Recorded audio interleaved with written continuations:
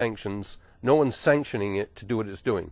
No UN resolution. It's just ad hoc deciding to continuously bomb this Sunni area of Iraq and uh, Syria. It is culturally based. It is racially based.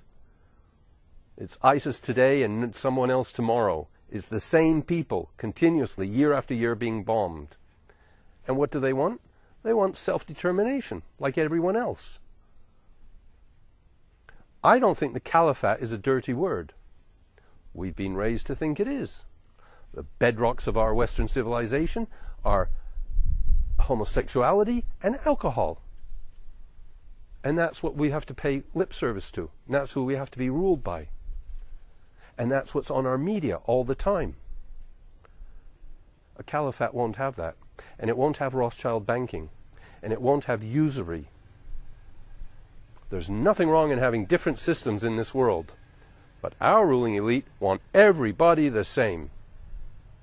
In all manner, in all respects.